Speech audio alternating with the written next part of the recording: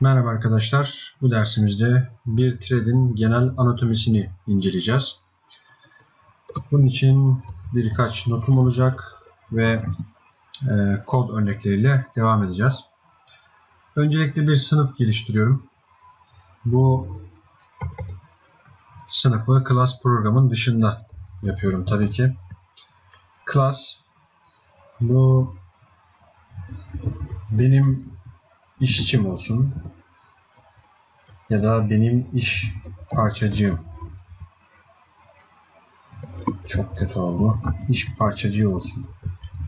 İsimlendirme problemleri.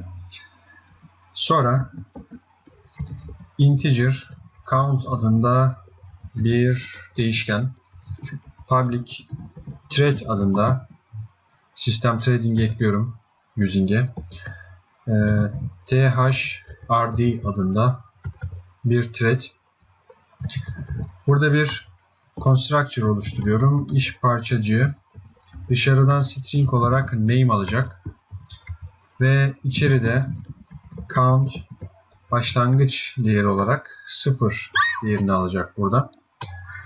Ondan sonra thrd nesnesi vardı zaten yukarıda thread tipinde. Onun nesne örneğini oluşturuyorum. Ve burada burada bir çağırma işlemi gerçekleştireceğim. Şimdilik böyle kalsın. thrd nokta name dedim. Dışarıdan gelen name parametresi. thrd'yi başlat. Start Sonra bir de metot oluşturuyorum. Bu metotta geri dönüş tipi void olan run adında bir metot. Sonra console writeline diyerek thrd name artı şurada starting diyorum. Yani run metodu çalıştığı anda e, thread'in adını söyleyip bu başladı diyecek. Tek yapacağı bu. Bir do while döngüsü oluşturuyorum burada. Yani bu arada bu thread'e de parametre olarak run metodunu veriyorum. Yani şunu. Tabii ki bunu metod olarak değil, bir nesne olarak veriyorum. Bir delegate mantığında düşünebilirsiniz. Tamam. Bunu verdim. İçeride çalışmaya devam edelim. Döngü içerisinde thread sleep diyorum. 500 milisaniye uyut thread'i buraya geldiği zaman. Console write line in in thrd nokta name şöyle count is dışarıdaki oluşturulan count nesnesinin değerini atar. Sonra da count'un değerini 1 artır. Ve ne kadar nereye kadar devam edecek bu döngü? Count küçük eşittir 10 olduğu sürece devam edecek. Ve THRD'nin name'ini tekrar burada sonlandırdığını bildirecek terminating şeklinde. Sınıfım hazır. Şimdi bu sınıfı kullanacağım. Bakalım nasıl kullanacağız. Öncelikle bunun başladığını bir söyleyelim. Yani ana threadimizin başladığını. O da burada başlamış demektir zaten. Main thread main thread starting diyorum. Sonra iş parçacığı nesnesini oluşturuyorum. İşçi olsun bu. İşçi doğru bir tabiridir thread için. New iş parçacığını oluştur. Dışarıdan buna bir isim ver. Child 1. Sonra yeni bir thread oluştur. New thrd new thread. Buna da yukarıda oluşturduğum işçinin içerisindeki şuradaki run metodunu veriyorum. Sonra new thread start diyorum. Dikkat ederseniz burada şunu yaptık. Bir iş parçacı sınıfı var. O sınıf içerisine bir parametre gönderiyorum isim olarak. O bunu constructor'da aldığında içeride bir thread oluşturuyor. O thread'e de kendi içerisindeki run metodunu veriyor çalıştırması için. O da e, bu içeride oluşturulmuş olan thread'in adını ekrana yazıyor, başladı diyor ve döngüdeki işini yapıyor. Buraya kadar okey. Şurada ne iş yaptı çok önemli basit bir işlem. Ee, ondan küçük bir eşit olduğu sürece bunu devam ettiriyor. Sonra da bitince de bu thread adını yazıyor. Bu terminating diyor. Bitti. Sonra iş parçacığın altında ise tamamen iş parçacığı sınıfından bağımsız olarak bağımsız bir thread oluşturuyoruz ve ona da yukarıdaki e, iş parçacığının bu sınıfın içindeki run metodunu veriyoruz. Yani şu sınıftan bağımsız bir işlem aslında. Ee, bunun içindeki run metodunu veriyoruz. Bir de ben seni böyle çalıştırayım durumu söz konusu. Yani şuradaki run metodunu bir de alakasız farklı bir thread'den çalıştırma işlemine bakıyoruz. Ondan sonra şurada bir while döngüsü daha oluşturuyorum. Diyorum ki işçinin count'u ona eşit olmadığı sürece dön. Console write bir nokta koy.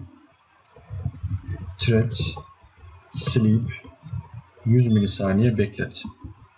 Sonra da başlattığımız main thread'i burada bitir. Şimdi çalıştıralım. Sonra sonucu inceleyelim.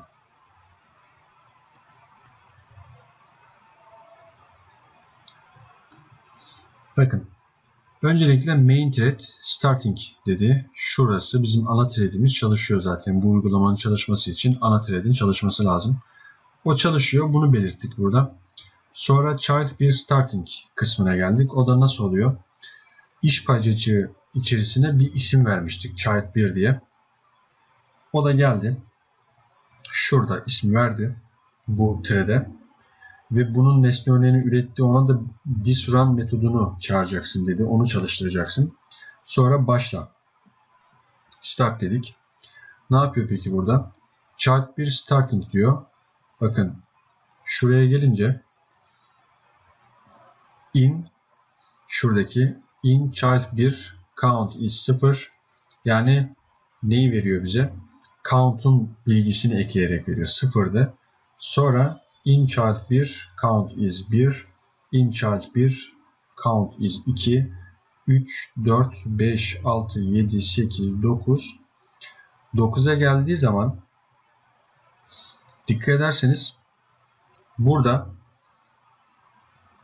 10 küçük eşit olduğu sürece bu işlemi devam ettir dedik. Buraya geldiğinde 9'da şuradayken işlem bitti. Aslında iş parçacığı çalışmaya devam ediyor kendi içerisinde.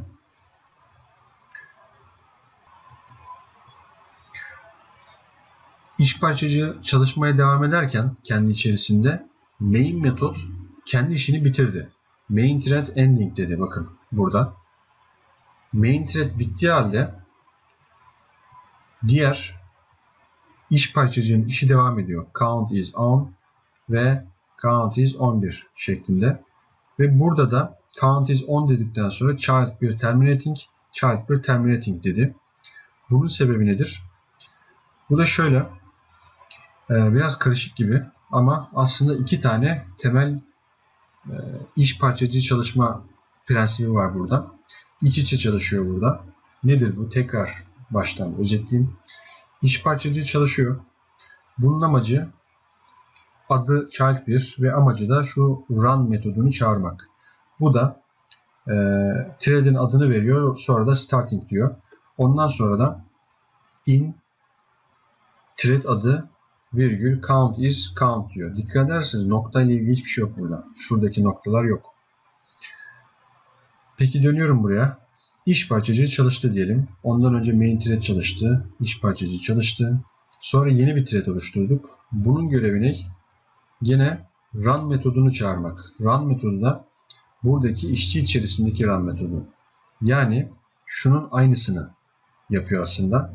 Buradaki işlemin aynısı. Ondan sonra bunu çalıştırdığında bir sonraki adımda da şöyle bir istek var. Bir döngü var burada. Bunlar çalışırken şunların ikisi iş parçacı ve new thrd bu sürekli e, thread'i 100 milisaniye bekleterek ekrana bir tane nokta yazıyor. Yani şuradakiler. Bakın burada bir tane var. Burada 4 tane var. Burada 4, 5, 4, 1, 4 ve 1 şeklinde. Bu o kadar e, rastgele gerçekleşiyor ki bu çalışma işlemleri. İş parçacı biraz çalışırken thread daha sonra çalışıyor. Sonra buradaki console write çalışıyor vesaire. O yüzden birbirinden tamamen bağımsız noktalar atılıyor mesela. Kimisinde 1 var ama bir başkasında 5 var mesela. O anda mesela buradaki işlem daha fazla çalışmış, çalışabilmiş. Muhtemelen ona daha fazla zaman ayırabildi. Bu şekilde özetleyebiliriz. Ee, burada kaç tane thread var? İç parçacığı 1, main thread, uygulamanın kendi thread 2, sonra şuradaki thread 3, 3 tane threadimiz var. 3 thread dikkat ederseniz sanki paralelmiş gibi çalışabiliyor. Birisi child bir starting yazıyor. Şuradaki.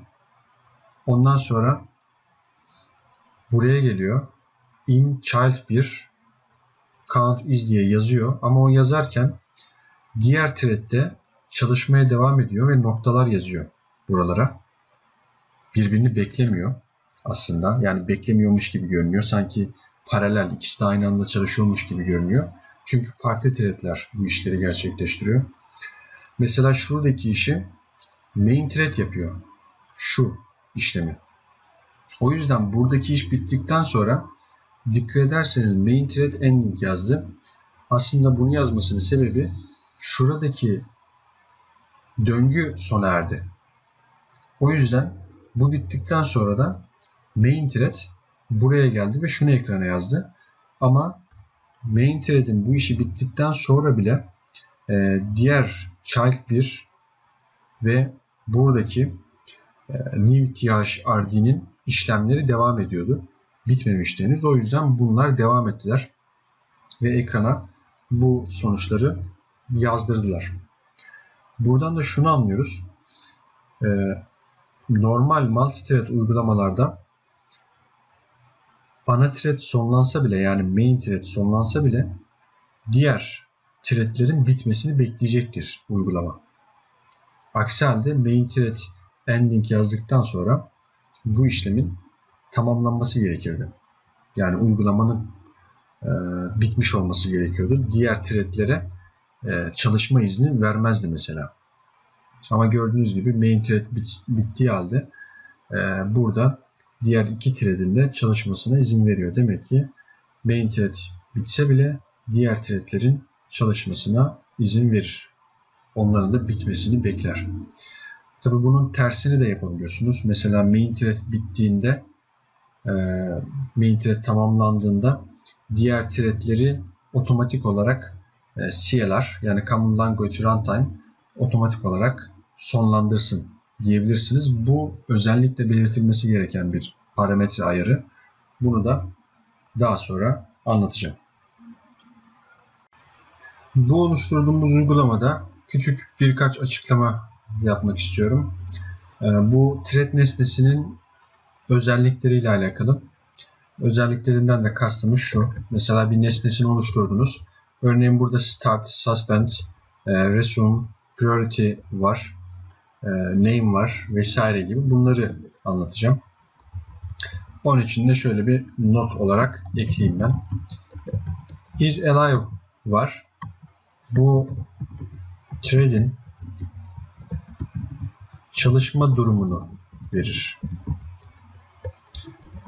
Yani thread'in hayatta olup olmadığını name thread thread'in adını